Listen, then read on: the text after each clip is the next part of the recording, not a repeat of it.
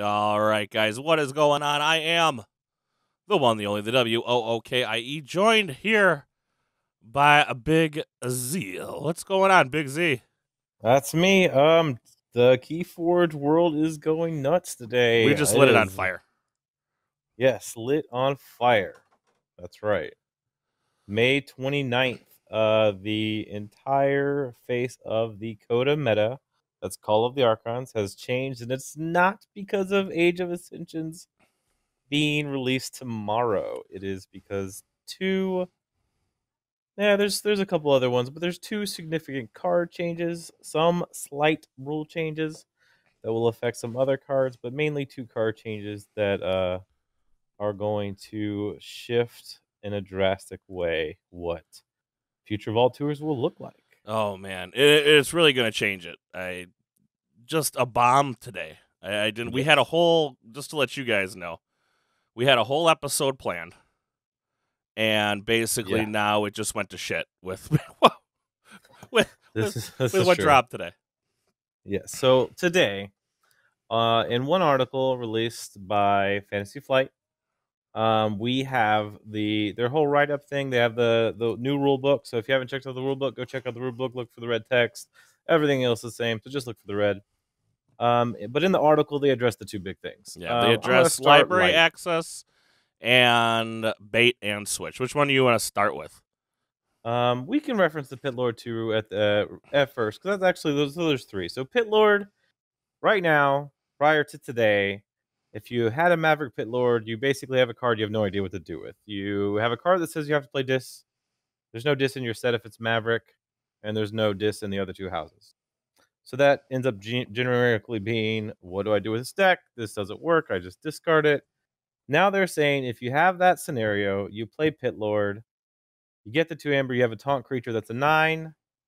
You can't call this um, anyway, so you just pick the cards from your house. So Pit Lord becomes an actually amazing Maverick if nothing else in your deck has dis. So basically, the ruling came down on the Crucible cast Mhm. that can't trumps must. and it followed up in the rules update today.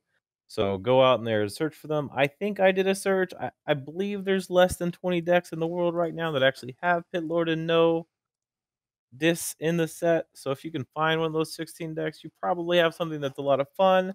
Maybe some secondary value, but honestly, I would probably be most interested if I could find like Untamed Pit Lord with Witch of the Eye. Yeah, it'd be pretty sick. There's no taunt in Untamed.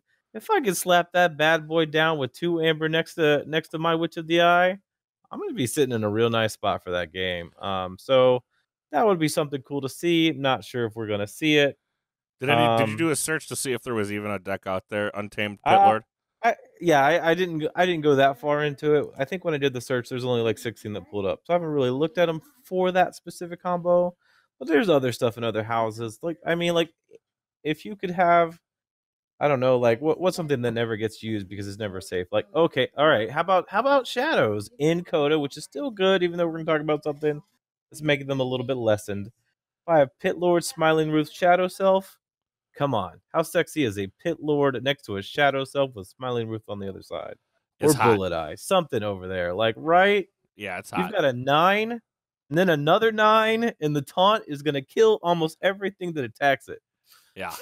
like that's that's that's there's a lot of fun Mavericks out there with Pit Lord now. If you can find one that doesn't actually have dis, so that's that that in my opinion would probably be the most valuable Maverick that you'd be looking for to pull right now. It's not going to be competitively the best, but like it's going to create some really really fun decks. Because if you've ever seen or played a Pit Lord, you know what happens next. You lose. Um, like yeah. it's that's generally what happens. I can't refute that. Yeah, that's normally what happens. Matter of fact, someone played one against me yesterday with an uh, with barring that card, a pretty good deck. The game didn't go much longer.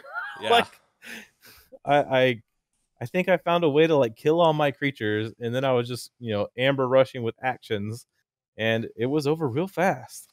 Like and he gets to reap for one. How yeah, exciting. like yeah, he gets to do a few things on his turn, and eventually has no discards left, and I'm still going through my deck, Yeah. smiling the whole time.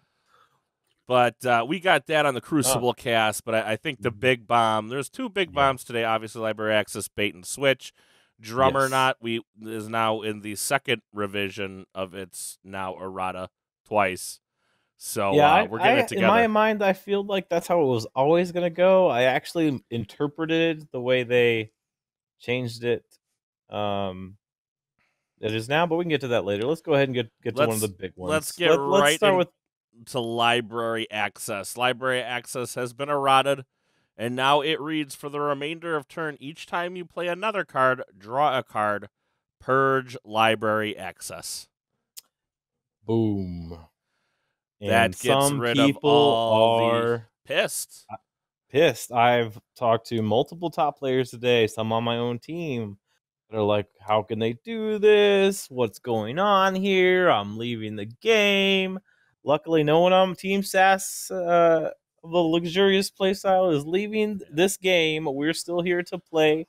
We're going to love the game that we have uh, played thousands of times among us continually but but no one but we're, we're but we, there are some some hurt feelings here because there's some major decks in our set. There's some major combos that we love to play. There's some major things we like seeing that literally were obliterated today.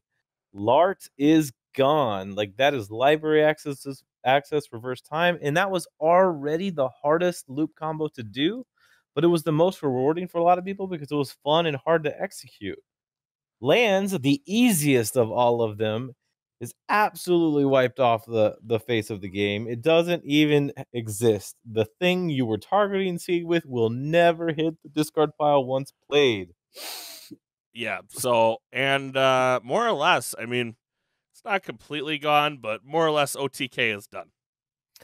There's going to be some stuff out there and we could talk about a different episode about what otk still is in the field right now. I believe there's actually some otk that's going to come in aoa but uh for that's a discovery thing and we can talk to more as it unfolds. But yes the the big lands phase shift key charge otk or chota is gone. Rest in peace on this day may 29th i believe it was somewhere around 12 o'clock central time Yep. It was 11:30 when I got sent the article. something like that. So I mean, there it is. I mean, it's over. And let's be honest, all of us are, uh, dare I say, veterans of past Mhm. card games, whether that be Magic, L5R. I mean, you you name it. All of us, I'm sure, have played another CCG or TCG in our lifetime. You Yeah, had to um, know I that the goodness Magic wasn't going to at last. the time when Dark Ritual, I believe, became restricted or something. Like it was so long ago for me. I think that was the term where you can only have one of them. Yep, restricted. And like, and I was like, I played mono black most decks back back then, and that I mean, I had four of those in every deck I ever owned or ran. Why Like, wouldn't you? like, why wouldn't you? I mean, like that is, I mean, it's not exactly like LA equivalent, but that's a pretty dang close effect of what it can do for you in that game. Yeah. But so moving like as far as like the why, so they explain the why in the article, and whether you have hurt feelings or not about this, and a lot of us hurt feelings come from a loss of investment, and I get it. I'm affected by that too here. But like I love this game and I want to play this game for the next 20 years of my life and at an enjoyable competitive level. So I'm just Um, going to give you kind of the little read off of uh, their reasoning. Yeah. Um, library access is the heart of the combo that has been stirring up discussion among many player communities. This card, in conjunction with other cards like Library or Nepseed and Reverse Time, allow you to play library access multiple times in one turn so that a player can draw their entire deck in their hand at once if it goes off. For their decks can either repeat the combo every turn for the remainder of the game, or if the deck composition is right, immediately win the game by forging three keys in a single turn. These decks put intense pressure on the metagame, requiring many players to be ready to counter these decks to keep them from dominating. On an even bigger problem with these decks, though, is just how long the combo takes to perform. Mhm. It can sometimes take upwards of 15 minutes just to walk through all the steps of the combo. This isn't a fun experience during tournament play and is disruptive to the overall timing of our tournament rounds. To improve the experience of this card, it has been changed to the following play for the remainder of turn. Each time you play another card, draw a card, purge library access. With this Ooh. change, library access can still be used to make a good logos turn into a great logos turn, but it can't be recurred multiple times to allow the player to draw their entire deck.